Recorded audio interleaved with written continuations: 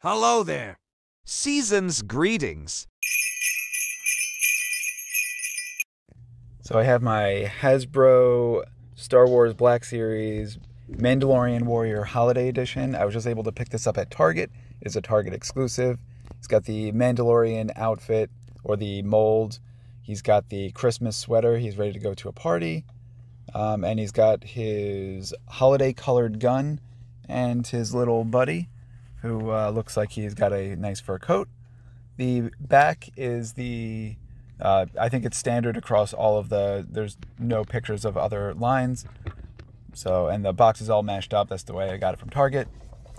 So I have no hesitation with just tearing this guy open. So let's take a closer look at the figure. All right, so uh, box strength, I'd say it's it's a medium. So first part of the review, the box is doing a good job holding the figure in. Uh, it got smashed and it doesn't look like the figure broke, so that's that's promising.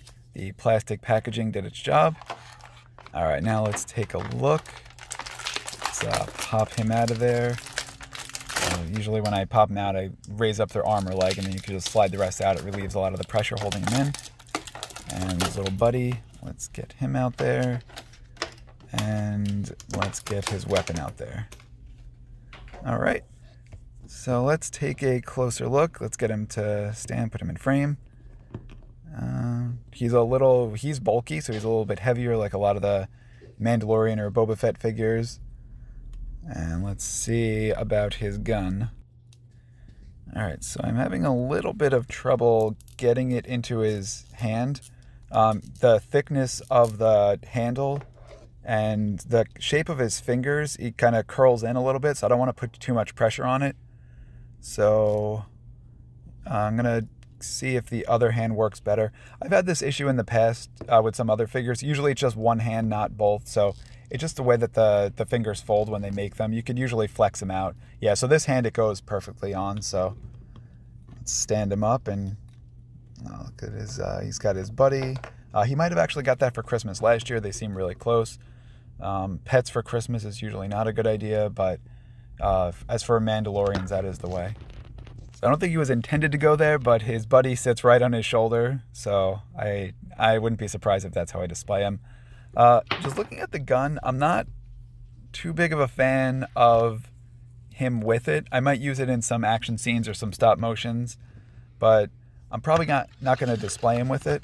Um, yeah, just I prefer the smaller blaster type guns when I'm displaying them.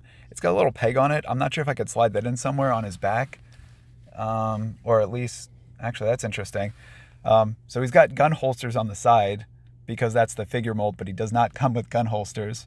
So I would probably maybe take some extra guns from some of my other figures and put them in there so he looks complete. So it doesn't look like I, I lost the pieces. And his buddy is just adorable. So he's just, uh, he's probably to have some good, good times when it snows out. All right, so let's take a look at him standing. And yeah, that is just a nice, vibrant, good looking figure. Yeah, I feel like just looking at him. Ah, and he fell over. He's too much of the eggnog, I'd say. Someone spiked the eggnog.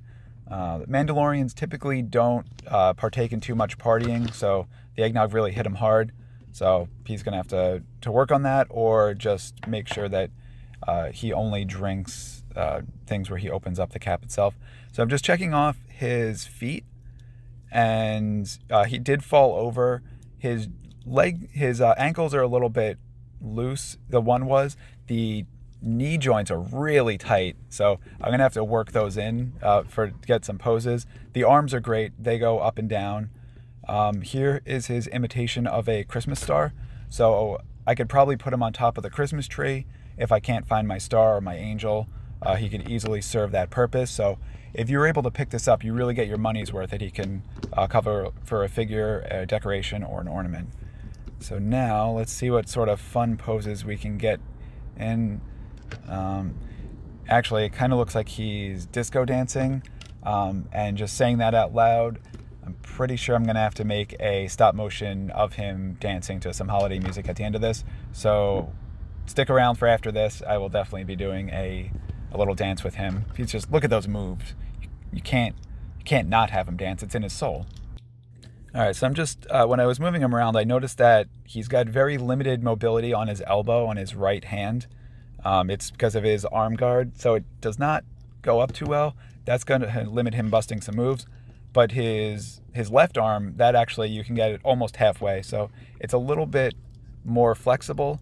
But again, you can just you work with the bounds of what the figure are. So uh, I have no concern. It's still an absolutely beautiful figure. The, everything else about it moves fantastic, and yeah, he's just look at him. He's just absolutely gorgeous. I love the the symbols on him, on his sweater, the little Boba Fett helmet, his little buddy, and he's just super festive. And the weapon, I I'll see what I can come up with to see if I want to display him with it. But otherwise, beautiful figure. And I'm really happy I was able to find this.